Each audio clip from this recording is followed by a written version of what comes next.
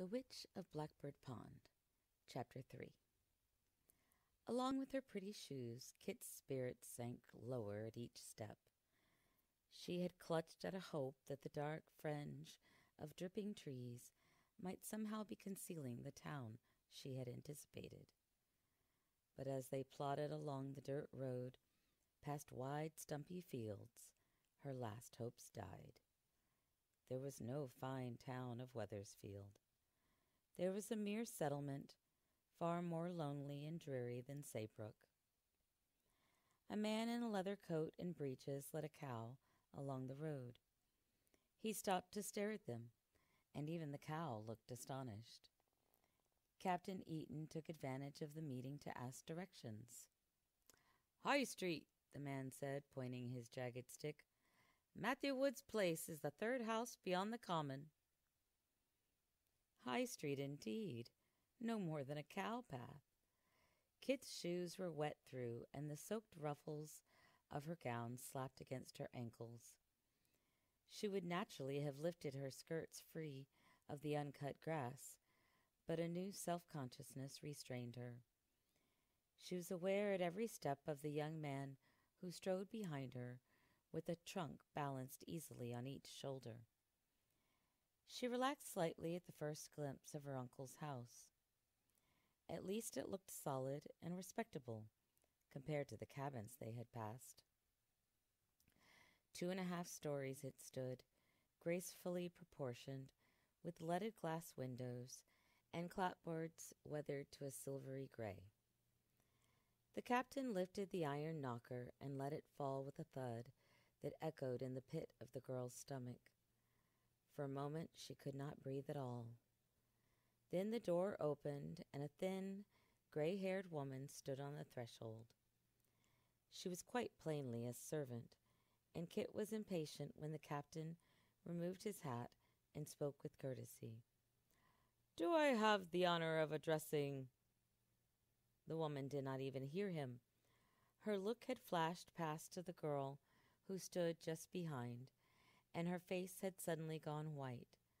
One hand reached to clutch the doorpost. Margaret! The word was no more than a whisper.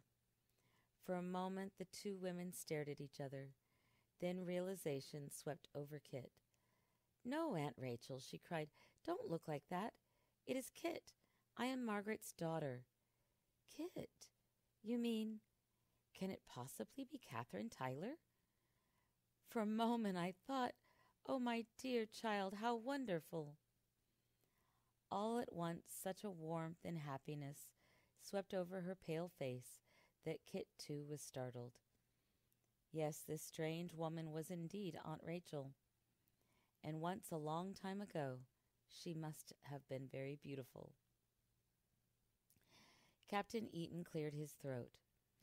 Well, he observed, I am relieved that this has turned out well after all. What will you have me do with the baggage, ma'am? Rachel Wood's eyes focused for the first time on the three trunk bearers. Goodness, she gasped. Do all these belong to you, child? You can just set them there, I suppose, and I'll ask my husband about them. Can I offer you and your men some breakfast, sir? Thank you. We can't spare any more time. Good day, young lady. I'll tell my wife I saw you safely here.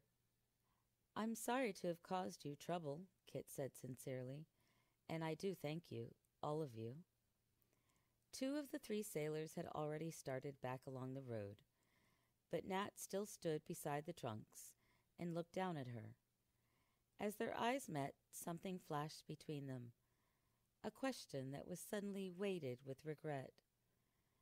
But the instant was gone before she could grasp it, and the mocking light had sprung again into his eyes. Remember, he said softly, only the guilty ones stay afloat. And then he was gone. The doorway of Matthew Wood's house led into a shallow hallway from which a narrow flight of stairs climbed steeply. Through a second door, Kit stepped into the welcome of the great kitchen. In a fireplace that filled half one side of the room, a bright fire crackled, throwing glancing patterns of light on creamy plaster walls. There was a gleam of rubbed wood and burnished pewter. Matthew, girls, cried her aunt, something wonderful has happened. Here is Catherine Tyler, my sister Margaret's girl, come all the way from Barbados. Three people stared up at her from the plain board table. Then, from his place at the head, a man unfolded his tall, angular body and came toward her. You are welcome, Catherine, he said gravely, and took her hand in his bony fingers. She could not read the faintest sign of welcome in his thin, stern lips, or in the dark eyes that glowered fiercely at her from under heavy, grizzled eyebrows.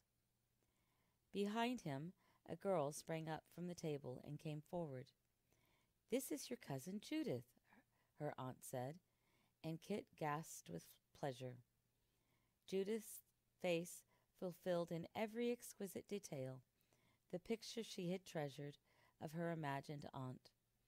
The clear white skin, the blue eyes under a dark fringe of lashes, the black hair that curled against her shoulders, and the haughty lift of her perfect small chin.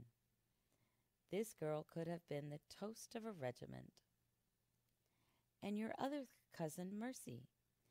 The second girl had risen more slowly and at Kit first Kit was only aware of the most extraordinary eyes she had ever seen, gray as rain at sea, wide and clear and filled with light. Then, as Mercy stepped forward, one shoulder dipped and jerked back grotesquely, and Kit realized that she leaned on crutches. How lovely, breathed Mercy, her voice as arresting as her eyes to see you after all these years, Catherine. Will you call me Kit? The question sounded abrupt. Kit had been her grandfather's name for her, and something in Mercy's smile had reached straight across the gulf, so that suddenly she wanted to hear the name spoken again. Have you had breakfast? I guess not. I hadn't even thought of it. Then 'tis lucky we're eating late this morning, said her aunt. Take her cloak, Judith. Come close to the fire, my dear. Your skirt is soaking. As Kit threw back the woolen cloak, Judith's reaching hand fell back. My goodness, she claimed. You wore a dress like that to travel in? In her eagerness to make a good impression, Kit had selected this dress with care. But here in this plain room it seemed over elegant. The three other women were all wearing some nondescript sort of coarse gray stuff. Judith laid the cloak thoughtfully on a bench and reached to touch Kit's glove. What beautiful embroidery, she said admiringly. Do you like them? I'll give you some just like them if you like. I have several pairs in my trunk. Judith's eyes narrowed. Rachel Wood was setting out a pewter mug and spoon and a crude wooden plate. Sit here, Catherine, where the fire will warm your back. Tell us how you happened to come so far. Did your grandfather come with you? My grandfather died four months ago, Kit explained. Why, you poor child, all alone there on that island? Who did come with you then? I came alone. Praise be, her aunt marveled. Well, you're here safe and sound. Have some cornbread, my dear. 'Twas baked fresh yesterday, and there's new butter. Surprisingly, the bread tasted delicious, though of a coarse texture, like nothing she had ever tasted before. Kit lifted the pewter mug thirstily and abruptly set it down. Is that water? she asked politely. Of course, drawn fresh from the spring this morning. Water? For breakfast? But the cornbread was good, and she managed a second piece in spite of her dry tongue. Rachel Wood could not seem to look away from the young face across the table, and every few moments her eyes brimmed over with tears. I declare, you look so like her, it takes my breath away. But all the same, There is a hint of your father there, too. I can see it if I look closely. You remember my father? Kit asked eagerly. I remember him well.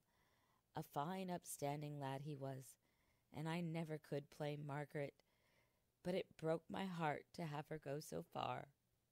But Rachel had come even farther. What could she have seen in that fierce, silent man to draw her away from England? Could he have been handsome? Perhaps with that strong, regal nose and high forehead, but so terrifying. Matthew Wood had not sat down at the table with the others. Though he had said nothing, Kit had been aware that not a motion had escaped his intent scowl. Now he pulled down a leather jacket from a peg on the wall and thrust his long arms into the sleeves. I'll be working in the south meadow, he told his wife. You had best not expect me till sundown. At the open door, however, he stopped and looked back at them. What is all this? He inquired coldly. Oh, said Kit, scrambling to her feet, I forgot. Those are my trunks. Yours? Seven trunks? What can be in them? Why, my clothes, and a few things of grandfather's. Seven trunks of clothes, all the way from Barbados, just for a visit? The cold, measured words fell like so many stones into the quiet room. Kit's throat was so dry she longed now to swallow the water. She lifted her chin and looked directly into those searching eyes. I've not come for a visit, sir, she answered. I've come to stay with you. There was a little gasp from Rachel. Matthew Wood closed the door deliberately and came back toward the table. Why did you not write to us first? All her life, whenever her grandfather had asked her a question, he had expected a direct answer. Now, in this stern man facing her, so, so totally different from her grandfather, Kit sensed the same quality of directness, and out of an instinctive respect, she gave the only honest answer she could. I did not dare to write, she said.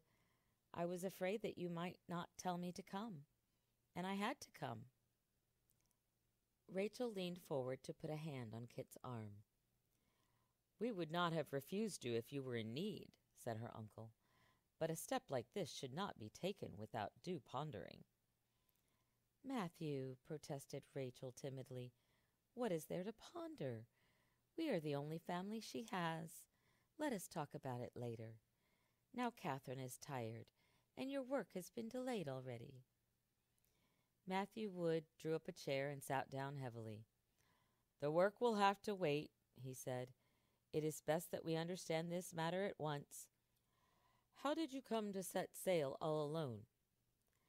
There was a ship in the harbor, and they said it was from Connecticut. I should have sent a letter, I know, but it might have been months before another ship came. So instead of writing, I decided to come myself. You mean that just on an impulse, you left your rightful home and sailed halfway across the world? No, it was not an impulse exactly. You see, I really had no home to leave. What of your grandfather's estate? I always understood he was a wealthy man. I suppose he was wealthy once, but he had not been well for a long time. I think for years he was not able to manage the plantation, but no one realized it. He left everything more and more to the overseer, a man named Bryant. Last winter, Bryant sold off the whole crop and then disappeared. Probably he sailed back to England on the trading ship. Grandfather couldn't believe it. After that, he was never really well. The other plantation owners were his friends. Nobody ever pressed him. But after he died, there just seemed to be debts everywhere, wherever I turned. Did you pay them? Yes, every one of them. All the land had to be sold, and the house, and the slaves, and all the furniture from England. There wasn't anything left, not even enough for my passage. To pay my way on the ship, I had to sell my own Negro girl. Humph! With one syllable, Matthew disposed of the sacrifice, only a little less sharp than grandfather's loss, of the little African slave who had been her shadow for twelve years. There was an awkward silence. Kit found Mercy's eyes and was steadied by the quiet sympathy she saw there. Then her aunt came to put an arm across her shoulder. Poor Catherine! It must have been terrible for you. You were perfectly right to come to us.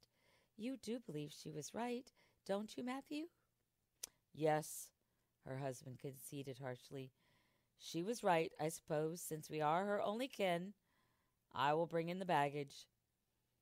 At the door he turned again. Your grandfather was a king's man, I reckon. He was a royalist, sir. Here in America, are you not also subjects of King James? Without answering, Matthew Wood left the room. Seven times he returned, bending his tall frame to enter the doorway, and with wordless disapproval set down one after the other the seven small trunks. They filled one entire end of the room. Where on earth can we put them? quavered her aunt. I will find a place for them later in the attic, said her husband. Seven trunks! The whole town will be talking about it before nightfall.